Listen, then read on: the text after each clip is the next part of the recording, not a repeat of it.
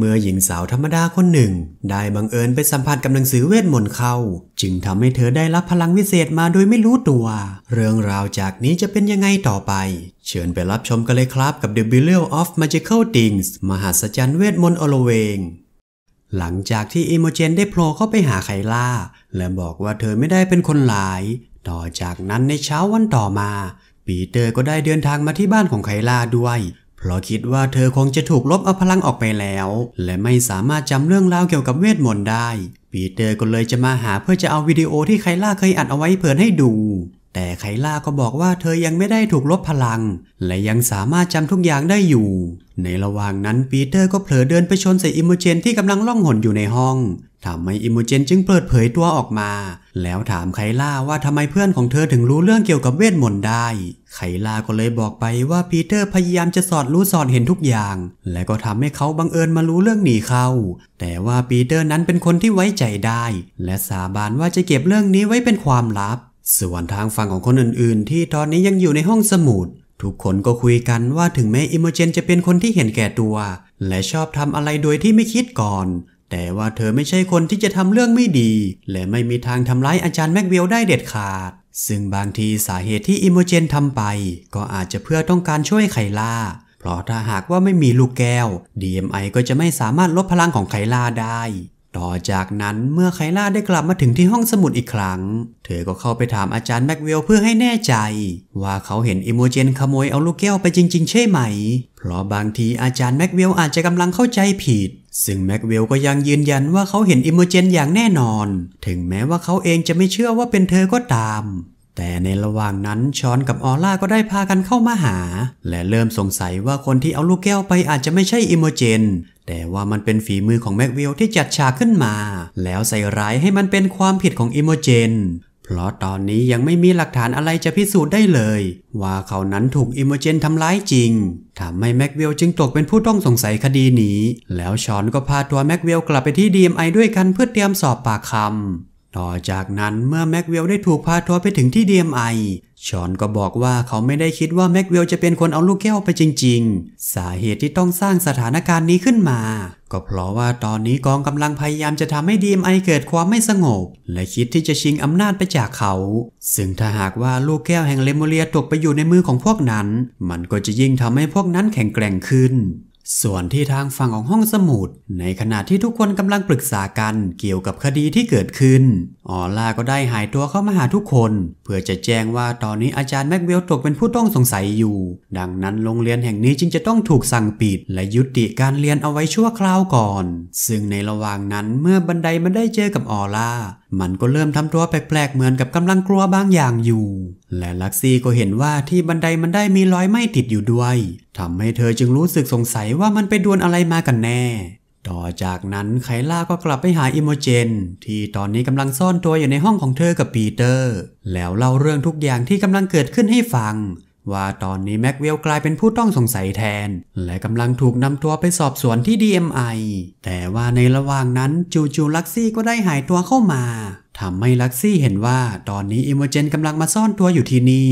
แต่เธอก็เชื่อว่าอิโมเจนไม่ได้เป็นคนร้ายตัวจริง พร้อมกับบอกให้ไคล่าลองใช้เวทมนต์ของเธอตรวจหาลูกแก้วดู เพราะพลังของไคล่ากับลูกแก้วมันเชื่อมโยงกัน บางทีก็อาจจะสามารถหาตำแหน่งของมันได้ และเมื่อไคล่าได้ลองใช้พลังของเธอค้นหาดู แต่ว่าก็ไม่สามารถระบุได้ว่าลูกแก้วมันอยู่ที่ไหน เพราะมันกำลังมีเวทมนต์บางอย่างคอยป้องกันไว้อยู่ ทันใดนั้นลักซี่ก็คิดบางอย่างขึ้นมาได้ เธอจึงบอกว่าจะขอลองไปหาข้อมูลที่ห้องสมุดดู ซึ่งตอนนี้มันกำลังถูกสั่งปิดอยู่พอดี จึงเป็นโอกาสที่จะได้แอบเข้าไปในนั้นโดยที่ไม่ต้องมีใครมารบกวน จากนั้นพอไคล่าลักซี่และอิโมเจนได้พากันแอบเข้าไปที่ห้องสมุด แต่ว่าจู่ๆออร่าก็ได้หายตัวเข้ามาที่ห้องสมุดด้วยอิโมเจนจึงบอกให้ทั้งสองคนรีบหาของที่อยากได้ ส่วนเธอจะออกไปล่อความสนใจไว้ให้เอง แล้วอิโมเจนก็ไปที่เปียโนขี้โมโห เพื่อจะกดเปียโนให้มันเกิดเสียงดังออกมา แต่ทว่าออร่าก็ดันมาเจอเข้าซะก่อน ซึ่งพอไคล่าได้ใช้เวทมนต์ของเธอมองดูอิโมเจน ก็เห็นว่าตอนนี้อิโมเจนกำลังตกอยู่ในอันตราย ไคล่าจึงใช้พลังของลูกแก้วดึงตัวอิโมเจนหนีไปทันทีต่อจากนั้นเมื่อทั้ง 3 คนได้พากันกลับไปที่ห้องของไคล่าอีกครั้ง และในตอนนี้ลักซี่ก็ได้หนังสือที่เธอต้องการมาแล้ว พร้อมกับบอกว่าเมื่อวันก่อน เธอเห็นดาร่านัดคุยบางอย่างกับออล่า แต่ว่าจู่ๆออล่าก็รีบลุกเดินหนีไปทันที ซึ่งเธอคิดว่าดาร่าน่าจะคุยเรื่องการลบพลังของไคล่า ว่ามันจะเกิดขึ้นหลังพระอาทิตย์ตกดิน ออล่าก็เลยรีบไปที่ห้องสมุดเพื่อจะได้ชิงเอาลูกแก้วมาก่อน เพราะเธอสังเกตเห็นว่าที่บันไดมันมีรอยไหม้และน่าจะเกิดจากการที่โดนเสกเวทมนต์ใส่ แถมในตอนที่ออร่าได้เข้ามาในห้องสมุด บันไดมันก็ทำท่าทางแปลกๆ เหมือนกับกำลังกลัวออร่าอยู่ แล้วลักซี่ก็เอาหนังสือที่เธอได้มาจากห้องสมุดเปิดให้ทุกคนดู ซึ่งมันก็คือวิทยานิพนธ์ของออร่าหลังจากจบการศึกษา แล้วเรื่องที่ออร่าได้ทำเอาไว้ ก็คือการใช้เวทมนต์เปลี่ยนแปลงรูปร่างทำให้มันจึงตรงกับทฤษฎีที่เธอกำลังสงสัยอยู่ ว่าในตอนนั้นออร่าอาจจะกำลังซ่อนตัวอยู่ในห้องสมุด และพอเห็นว่าอิโมเจนได้ถูกอาจารย์ไล่ให้ออกไปจากห้องสมุดแล้วเพราะโดนจับได้ว่าแอบเข้าไปเอาลูกแก้วออร่าก็เลยปลอมตัวเป็นอิโมเจนต่อทันที แล้วเข้าไปทำร้ายอาจารย์แม็กเวลพร้อมกับแอบขโมยเอาลูกแก้วหนีไป เพื่อจะได้ใส่ร้ายให้มันเป็นความผิดของอิโมเจน และในตอนนั้นบันไดมันก็คงพยายามจะเข้าไปช่วยอาจารย์ ออร่าก็เลยเสกเวทมนต์ใส่มันซะก่อน จนทำให้บันไดมันเกิดรอยไหม้และรู้สึกหวาดกลัวออล่า ส่วนทางฝั่งของดาร่ากับลินลี่ ในขณะที่กำลังเดินคุยกันอยู่แถวร้านขายน้ำผลไม้จู่ๆไคล่าก็ได้ตามมาหาทั้งสองคน บอกว่าเธอหาลูกแก้วเจอแล้ว ตอนนี้มันกำลังอยู่ในห้องสมุด เพราะออล่าเป็นคนขโมยเอามันไป ต่อจากนั้นเมื่อดาร่ากับลินลี่ได้พากันไปดูที่ห้องสมุด ไคล่าก็เอาลูกแก้วแห่งเลโมเลียออกมาให้ทั้งสองคน